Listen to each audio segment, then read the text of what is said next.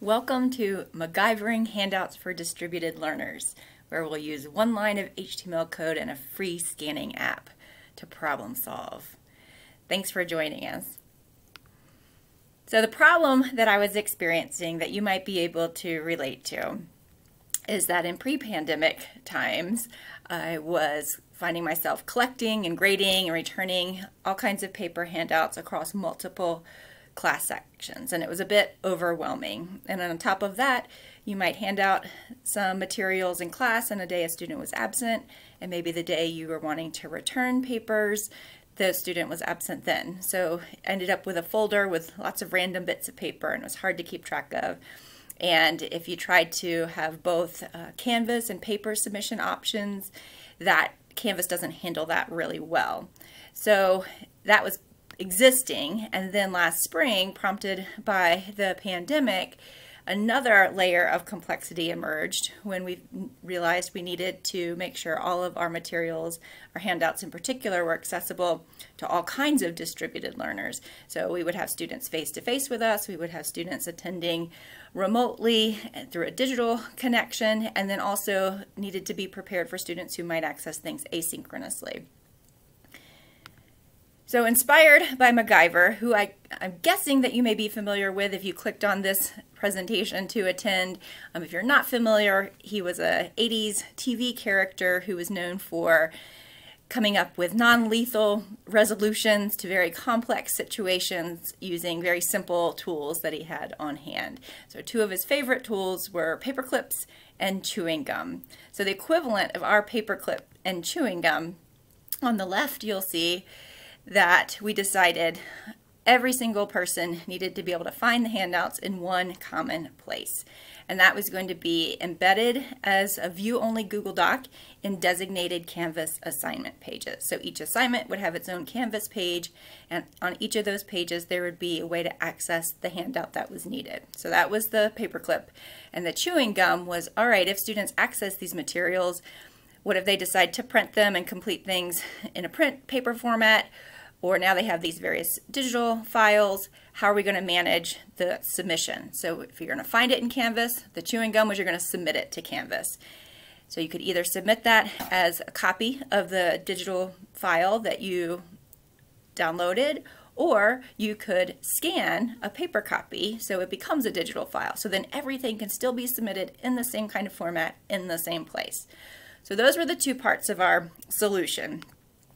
The paperclip part in six steps, we figured out how to embed a Google Doc directly in a Canvas page. So step one, you see a screenshot of part of one of our Canvas assignment pages in one of our courses. And that little red circle and arrow is showing that that is where you go from the regular Canvas editor page into the HTML editor. And once you're in that editing page, then I'll move myself so you can see then you would copy and paste just this single line of HTML code. And I'm thankful to a blog post that I found in the Canvas community blog that gave me this information. So those are the first two steps.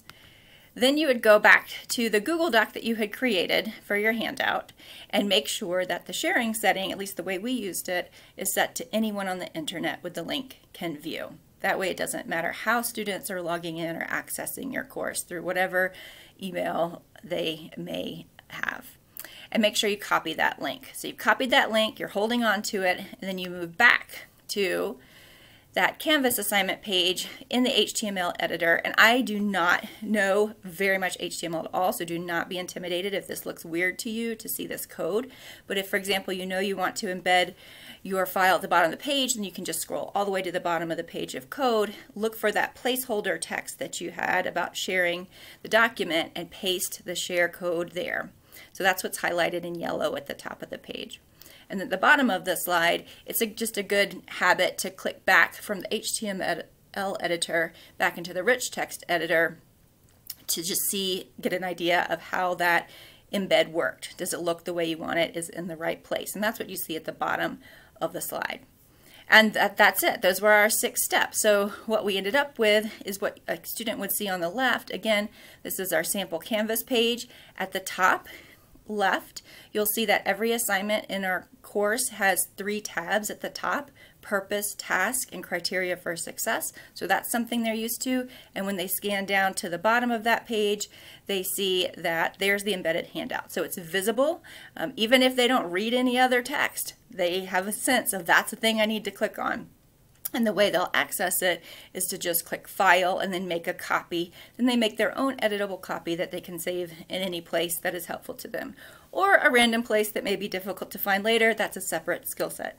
If I click out of this slide for a second and show you what it looks like in the actual Canvas page, here I'm in edit mode. So there are my tabs at the top of the page. And if I scroll down, I see here's my embedded handout.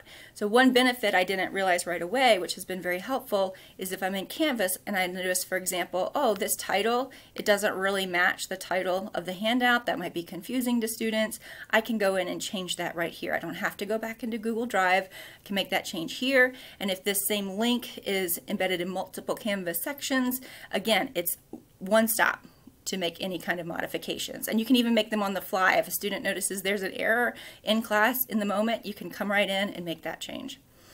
Um, so that's what it looks like on the back end side. And again, if you click the little HTML bar that's slightly off screen here in the bottom right, that's where you can get into the HTML code and you would scroll down and see here's that line that we saw in the slide earlier.